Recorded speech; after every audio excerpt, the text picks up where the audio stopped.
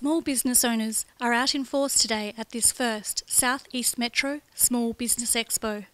Hosted by the City of Gosnells, we are here at the Lyle Richardson Hall for this business savvy event. Small business is the very cornerstone of our community and our economy, and there were some things that we needed to do to make sure that uh, small business uh, had an environment in which it was easy to operate uh, in these rapidly changing times. I think it's incredibly important that small businesses have access to information and networking through expos like this. Uh, small business people are incredibly passionate and work very hard, but they need to be able to make informed business decisions, and the way they do that is through expos like this and getting information and advice. Well, I know they've had expos before, but um, it's my first to hold an expo here in the South East Metro corridor. Uh, it feels really great. It's just wonderful to see so many people come out, um, all the different types of businesses, a lot of government departments, uh, you know, from small businesses to large businesses. So it feels really, really wonderful actually. Small businesses are increasing as more people are choosing to be their own boss. We use an evacuated tube product for our hot water requirements, uh, for solar hot water requirements. They are about twice as efficient as the, the flat plate type, so the type you see on a lot of people's roofs. Um, the best they'll do is about twice the ambient air temperature in terms of the temperature of the water. These guys get about four times the ambient air temperature, so twice as efficient, which means you're using either twice as less um, gas or twice as less electricity to boost your hot water.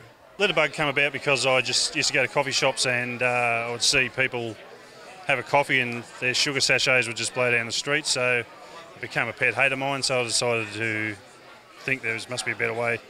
So that's how it came about. So we're a disability employment service provider. So we work with clients and employers to find clients with disabilities employment.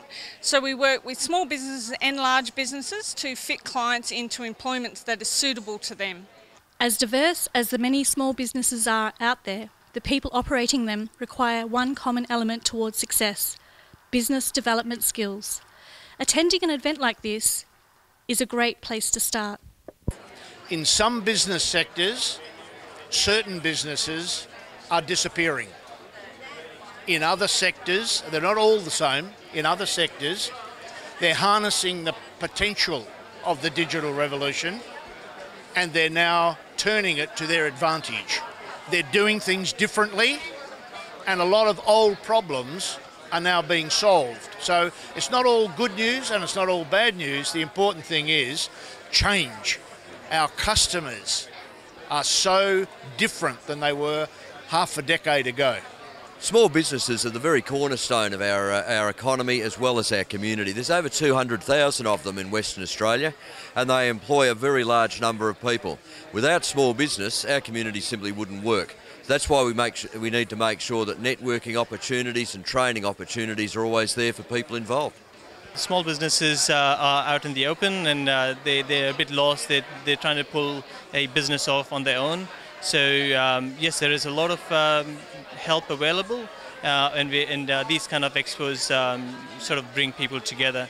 And I, I've always said, if you put the right businesses together, magic happens. So there you go. The thing I'm proudest of in, uh, in terms of initiatives for small business is the creation of the position of Small Business Commissioner, together with an alternate dispute resolution service. Already, millions of dollars have been uh, have been recovered and thousands of cases settled uh, in a fast, efficient, non-litigious way.